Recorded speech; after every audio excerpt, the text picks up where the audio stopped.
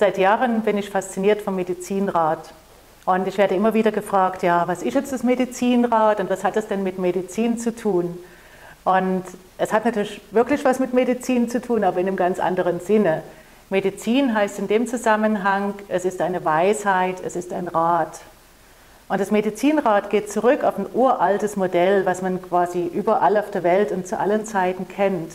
Es ist nämlich dieses Kreuz mit dem Kreis drumherum. Und dieses Kreuz, das sind die Haupthimmelsrichtungen, also Norden, Süden, Osten und Westen. Und wenn man jetzt diese Richtungen mit dem Kreis verbindet, dann kann man da die zeitliche Komponente dazu nehmen.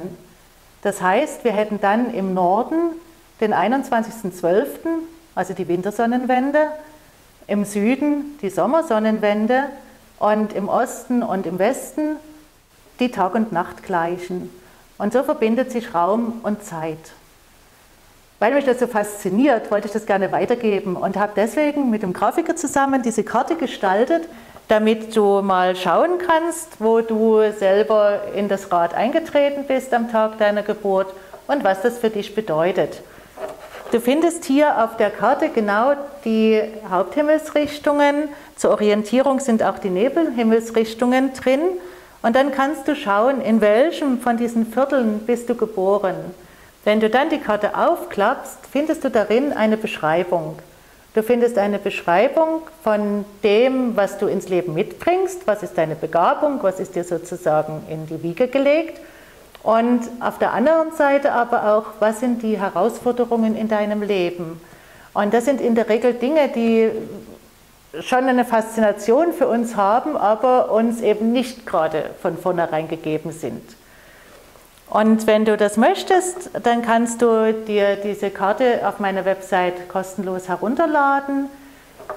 Kannst das ausprobieren. Wenn du Fragen hast, darfst du dich gerne bei mir melden und das Medizinrad ist natürlich noch viel, viel mehr als dieses Horoskop. Aber ich denke, das ist ein guter Anfang.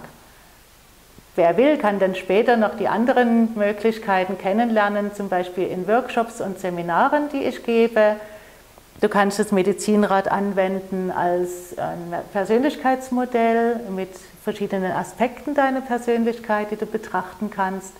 Du kannst es als Prozessmodell anwenden für dein eigenes Leben oder auch für irgendetwas, irgendein Projekt, was du starten möchtest und findest da quasi wie immer einen Kompass, an dem du dich orientieren kannst.